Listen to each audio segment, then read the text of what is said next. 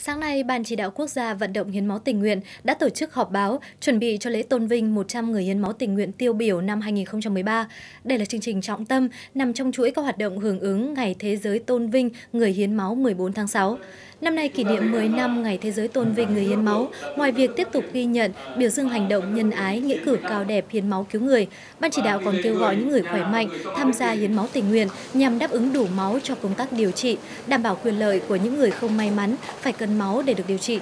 Năm 2012, cả nước ta đã vận động và tiếp nhận được khoảng hơn 900.000 đơn vị máu, tương đương với 1% dân số hiến máu, đáp ứng trên 50% nhu cầu máu cho cấp cứu và điều trị. Trong đó, lượng máu từ người hiến máu tình nguyện đạt gần 88%. Cả nước đã xuất hiện nhiều tấm gương hiến máu đến 100 lần, có những gia đình dòng họ hiến máu đến hàng trăm lần. Xuất hiện nhiều cơ quan, đơn vị, trường học thường xuyên tổ chức hiến máu tình nguyện và coi đây là hoạt động định kỳ của đơn vị mình.